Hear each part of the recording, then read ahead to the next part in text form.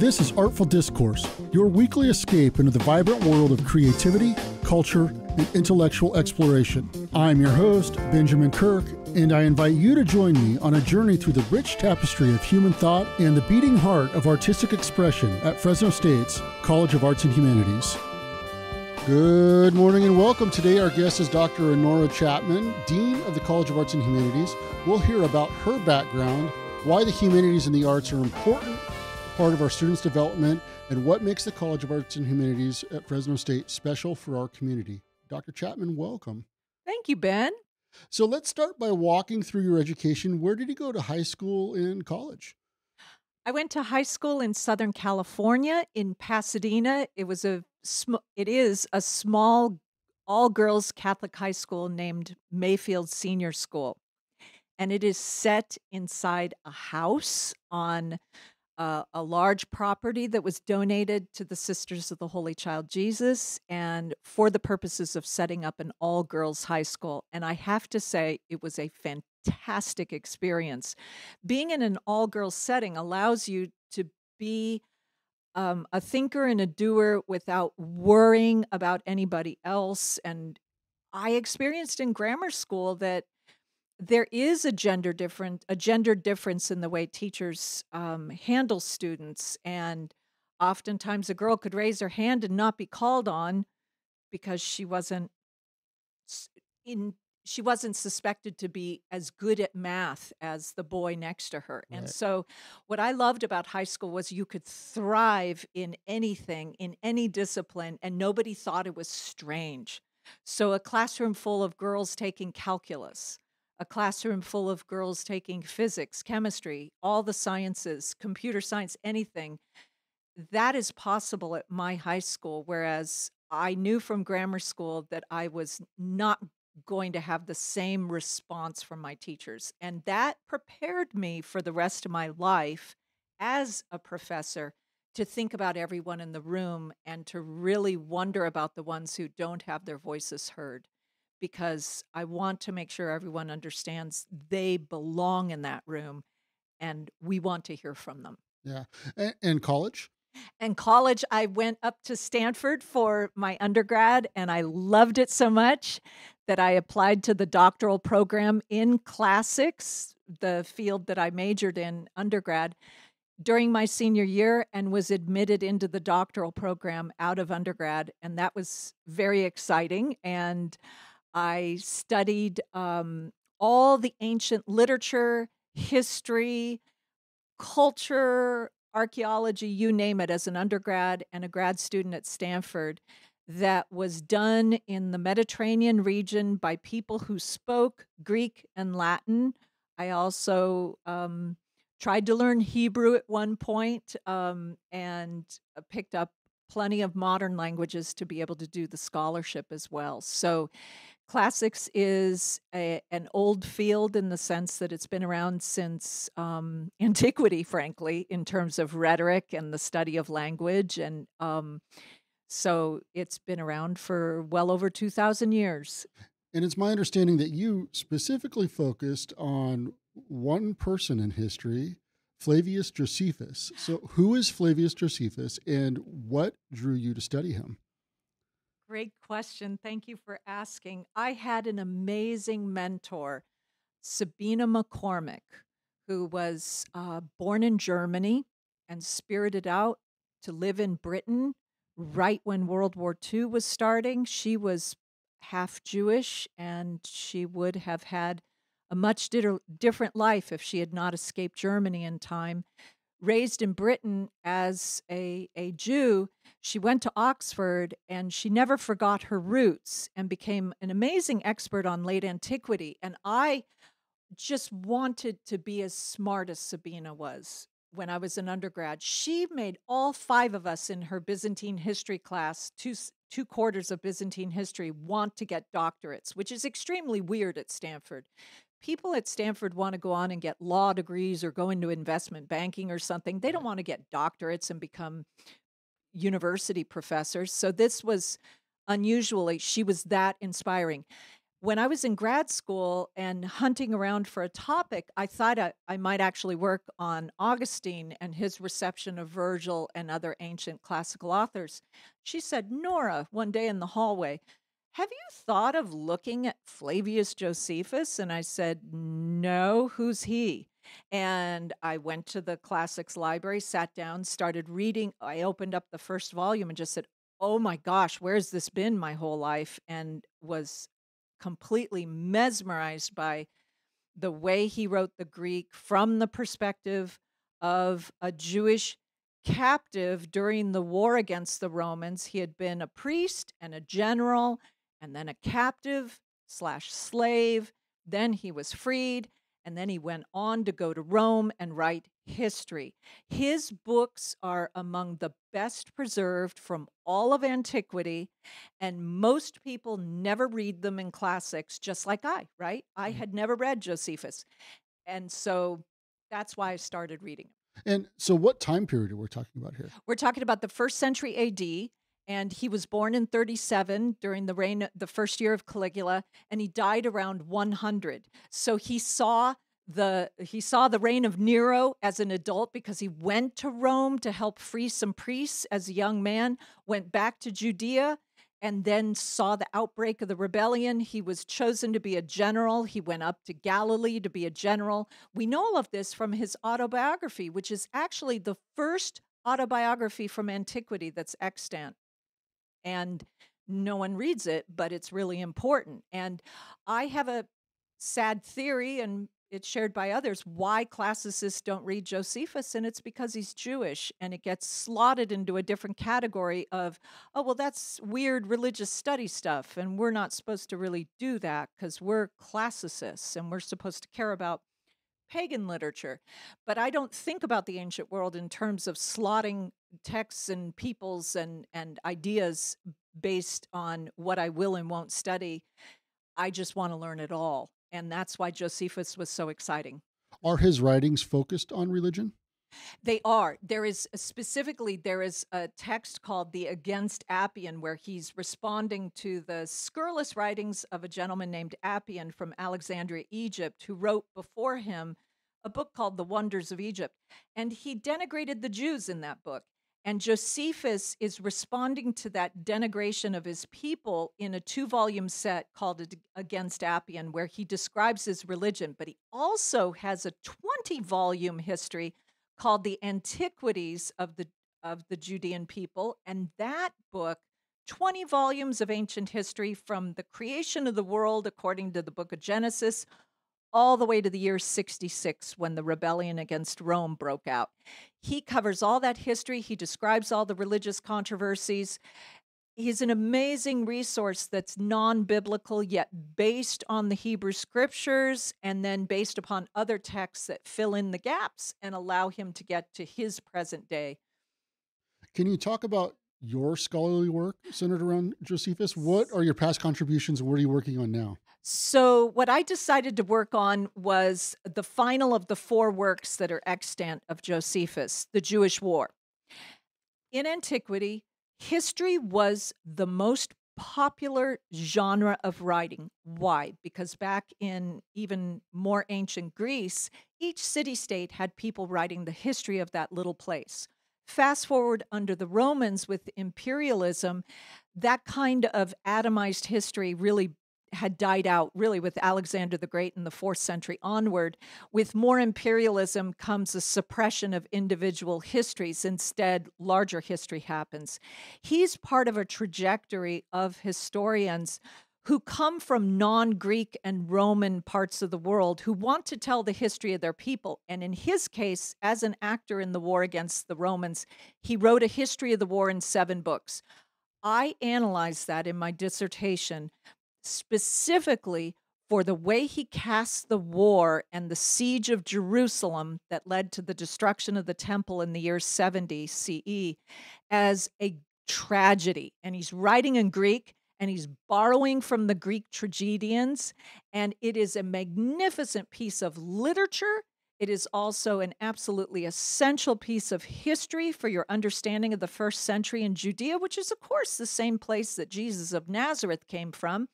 And this is why Josephus's works survived because the early church decided that Josephus's works attested to the life and times of Jesus Christ and therefore this was worth saving. And the key thing was that he mentions Jesus a couple times in his text the Antiquities and that's why these books survive today versus the many thousands of books that didn't survive from antiquity. He's an essential resource that is completely underread in my field of classics, and yet I think incredibly valuable for our understanding of Roman history, Jewish history, and even contemporary times with um, what we see in the Middle East. These are not new problems. Yeah. Now, I understand you started your teaching career at Stanford as a lecturer in classics from 1998 to 1999. Then you went on to lecture at Santa Clara University, teaching history, English, religious studies, and classics. Then in 2002, you came to Fresno State as an assistant professor of classics and humanities. Why Fresno State? Well, the field of classics is quite small in terms of the number of people who work on any given university or college campus. And in the Western United States, we have nowhere near as many liberal arts colleges. Therefore, there are very few job openings in classics. When I applied to this job, there were well over 100 people applying to it for a generalist position, meaning you can teach Latin and Greek and everything else. And I was excited about it because I love teaching everything. And I felt so fortunate to get this job because there were very few, if any others, that year in 2001, 2002. I applied right after 9 11. And to get a tenure track job in that kind of market seemed so lucky. And I came to Fresno uh, for the campus visit in February, and I was struck by the beauty of the campus with all the trees. And most importantly, the first time I stepped in a classroom, the students were so eager to learn during my job talk, which was teaching them a class like a job talk, it was a combo. Right and their questions were better than the questions posed by my students at Stanford and Santa Clara. And I thought, I'm going to have fun here with these students. and I, I believe that to this day. What I love about Fresno State students is they are grounded in reality. They have overcome life's challenges, but they're also incredibly culturally savvy. And they have um, linguistic abilities that surpass um, many Americans, and they are eager to learn. I love our students. I love teaching them, and they really inform my scholarship through their questions. It then gets me thinking, well, what do other scholars say about this problem? So that's how teaching at Fresno State is so valuable. Not only the reward of teaching such gifted, um, really eager students, but on top of it, their questions help you proceed in your own work. And your family has history in the Valley, I understand. That's true. I was um, the family member who returned after no one had been here for a good 30 years when my great aunt had left Merced, the last of the residents of the valley. Uh, my gram, who was her sister, grew up in Merced in a house built by my great grandfather and great grandmother. Um, he was an immigrant from Ireland, and they were pioneers in Merced in the very early 1870s. But on the other side of my father's family, his dad's family, his my great grandmother on that side had relatives who came out here to farm wheat in the Hanford area. And then that's why they came across the United States, went to Petaluma, and came down to Merced to do ranching because of that relative. So my family's been here since the 1860s approximately. Wow. I have I have no definite dates, but they resided here all the way through. My father was born uh, raised in the valley on Chowchilla Ranch and went to school in Merced because the ranch there were no schools um, near the ranch and they had to drive up um, through El Nido into into Merced to go to school when he didn't live at his Graham, his grandparents' house is in Merced. He would come in from the ranch with his brothers and he graduated from Merced High in 1939. I have a long history of coming up here with my dad um, to the valley to visit our relatives when I was little, and and so I knew the valley really well from the back seat of a car and then the streets of Merced. I know the downtown because their house was at 431 18th Street, and we'd walk those streets as little kids. And I I have such fond memories, and I remember the people who lived here back then. My gram and her sisters. They were such lovely human beings, so welcoming of everybody. Now, while at Fresno State, you became the coordinator of classics in the Department of Modern and Classical Languages and Literatures and served as the director of the Smittcamp Honors. I'm sorry, the Smittcamp Family Honors College for several years. Can you talk about that experience a little bit? Yes. So I started as coordinator of classics two years after I got here um, in 2004, and I remained coordinator all the way till the time that I became associate dean in January 2016. But in the meantime, I um, decided to try to become and was selected the director of the Smittcamp Family Honors College, succeeding the um, directorship of Stephen Rodemeyer, the longstanding beloved tenure director, the founding, uh, not the founder, Robert Ware was, but the first director admitting and advising students. And I loved it. It was five years, and we had so much fun because I had all these fabulous students, 200 of them, and I really learned how the university worked all the way across campus because I was doing admissions, recruitment, admissions, and advising. And I learned every major across campus because the students come from every major. And then I learned all the people who support students around campus. And it really made me much more of a citizen of Fresno State and a supporter and advocate for the power of a Fresno State education because I believe what we do here is profoundly transformative. Smittcamp provides a four year full tuition plus dorm room if you elect to live in the dorms um, for four years. And it is magnificently egalitarian. And I love that. Everyone has the exact same scholarship and they get along and they study together and they help each other. And we did a lot of community service together. I'm most proud of the fact that with um, with students in a special political science class in honors, there was a great deal of work for the environment uh, restoring the river through river cleanups in coordination with River Tree. They cleaned 17 tons of trash out of the river. We planted uh, 50 plus uh, oak trees along the riverbank. I even got help with that. Um, we did tons of new um, uh, community service projects in my five years. And I was most proud of amping up study abroad because I know that when you study abroad, you grow exponentially in a short period of time. And we went from about um, 10 to 15 percent um, participation in study abroad uh, of the 200 to about 85% over the oh, course oh, wow. of my five years because I incentivized it. I found a way to make it appealing. And, um, and then I led the first study abroad trip for Smittcamp to Rome with 24 students. Not all, not all in honors. It was mixed with, you know, non-honor mm-hmm. students. Mm-hmm. And yet that was fabulous in 2012. And um, since then, I've had the privilege of doing um, Greece with um, the Eastons in 2015 uh, and Florence in 2016 on my own, and also Mallorca in 2019, right before the pandemic struck the following spring. And so doing these trips allowed me to ex- share other cultures with our students, but it started in Smittcamp, and I think that was really important. And finally, scholarship. During my five years, I worked with associate deans in every school and college on campus and got honors programs established across the entire campus. And that I'm very proud of because I know that research is extremely important for the intellectual growth of all of our students. And um, and so I really felt happy with what I did in those five years, and I needed to do my scholarship. I needed a sabbatical very badly to finish a book with a yeah. colleague in Ireland, and that's why I stepped away.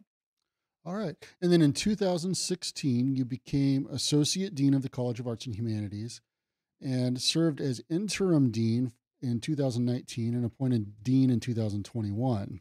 That's a it's a mouthful, but all right. And so, what is special about the College of Arts and Humanities? I think the College of Arts and Humanities has this tremendous creative energy. You feel it in the room when our faculty assemble, and you see it in what they produce as artists and humanists. It profoundly gifted people in producing art, sharing it with the community, and also digging deep into ideas and researching things and writing important pieces of scholarship. And that I'm really proud of what we do in our college because our workload is high. There is no doubt about it. 12 WTUs of teaching is a lot. And yet, our professors our largest faculty on campus in terms of tenure track professors, hovering around 130 plus tenure track. We really are strong in our creative, uh, our research and creative activities. Look at our Fulbright scholars. Yeah. Look at Pulitzer Prize finalists. Look at U.S. Poet Laureate uh, Philip Levine, look at what our professors achieve in their careers. And you see very hardworking people, which reflects our student body and our valley writ large. And I think that this environment is great for people because though it is a challenge in terms of workload, I think you're inspired to work hard and produce great things. And what is your favorite part about being dean? I think it is learning about individual colleagues and students and what they dream of doing. What I get so excited about is hearing the story of an individual professor or student saying, I really need to go to this conference or I really need to go on this study abroad adventure. This is why. And it just excites me to see on an individual scale how these people's lives are changing because they had an idea and the College of Arts and Humanities can help them. And one of the things that makes it possible to help our professors and students and the staff as well who seek professional development is the generosity of our supporters. We have a tremendously dedicated advisory board called AHAB. We have people far and wide who donate to the College of Arts and Humanities, and every dollar allows our students and professors and staff to fulfill their dreams of achieving the next level. And that is possible because of this tremendous commitment on the part of our supporters to donating to allow us to support these efforts. And I'm very proud of that history in the College of Arts and Humanities goes way back decades we're we're building on the we're standing on the shoulders of giants who who set up this system of support for the college and really modeled it for the rest of the campus. And I'm I'm proud of the fact that we continue to achieve um, great success on Day of Giving. That we have tremendous generosity towards the Armenian Studies program with countless scholarships that support students across the campus in all majors taking Armenian studies. These are the things that really make us distinctive and spirited because that kind of support it sort of it it seeps into your psyche. You know there's someone behind you. You may not even see them you may never meet them but you know someone's got your back and that is profoundly comforting when you find yourself struggling because you're working hard and our professors and students know that not only the campus not only their professors but even the community and those past supporters who set up endowments are there for them. And it's it's really amazing when you see how these funds that are raised have a direct impact on students' lives and what they're able to accomplish through their education. Absolutely. Uh, you, you take the example of one artist who needed materials for these incredibly grandiose, extraordinary Mayan sculptures that she did. Those required materials. She did not have the money for the materials. Our Dean's Council allowed her to buy the materials to complete her artworks for her graduate thesis. That is the direct impact of people's generosity.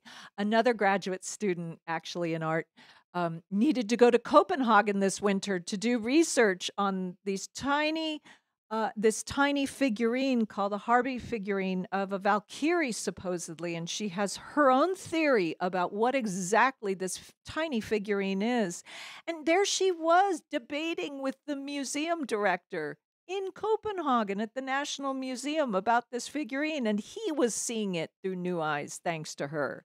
This is the power of Dean's Council generosity to fund trips to make it possible for our students, faculty to go places and um, further their own research and further their creativity too when they go do photography in India or um, whatever they might do. All right, I'm going to challenge you a little bit here. Um, how are graduates of the College of Arts and Humanities relevant in the job market? What do they have to offer that, say, STEM majors lack? First of all, as the director of the Smittcamp Family Honors College, I see all majors as valuable because I really learned um, that everyone has something to contribute in a workplace after they graduate from Fresno State. However, I believe that artists and humanists bring a certain creativity and intellectual flexibility that is developed in our classes, in our studios, on our stages, in our concert hall that simply don't happen in other disciplines. And it's that same ability to immediately adjust in real time to a situation that the musician develops when looking at the conductor slow them down and the very moment in time while they're playing in their symphony orchestra. That is what the arts and humanities allow you to do in the workplace after you graduate. You can go into anything in arts and humanities, by the way. You don't have to major in business to become a business person. Right. All right. So, why is the College of Arts and Humanities important to the local community, and what kind of cultural enrichment is available to the general public? I know that our college is the single largest purveyor of arts, entertainment, in a very large radius around Fresno. We have wonderful arts organizations across campus, but nobody has the complexity we do. Right. And the number of offerings. When you think of our schedule, and Ben, you know this well from attending almost all of these events, we have way over 100 events. Music alone has over 150 events a year.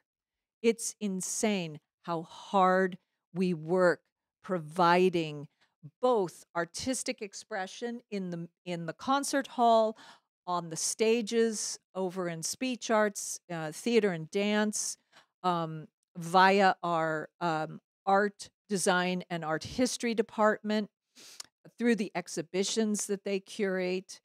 Um, and in addition to that, we offer a plethora of lecture series through the humanists, inviting fantastic, internationally renowned experts to speak to our students and community. And these are oftentimes the lecture the lectures are free. So you can find more information about the college's public events at calendar.fresnostate.edu. Thank you, Dr. Chapman, for joining us this morning. We'll see you again next weekend for another edition of Artful Discourse. I'm Benjamin Kirk for the College of Arts and Humanities at Fresno State. Artful Discourse is a production of the College of Arts and Humanities at California State University, Fresno. The Dean is Dr. Honora Chapman, and the Associate Dean is Dr. Sergio La Porta. This program is written, directed, and produced by me, Benjamin Kirk, the college's communication specialist. The theme song for Artful Discourse is Maiden Voyage by Fresno State music professor Benjamin Boone from his album Joy. More information about his music can be found at benjaminboone.com. Special thanks to KFSR and FSR Underground General Manager Julie Lindahl for making this show possible. You can learn more about the College of Arts and Humanities and find an archive of our shows at our website, cah.fresnostate.edu, or on our blog, fresnostatecah.com.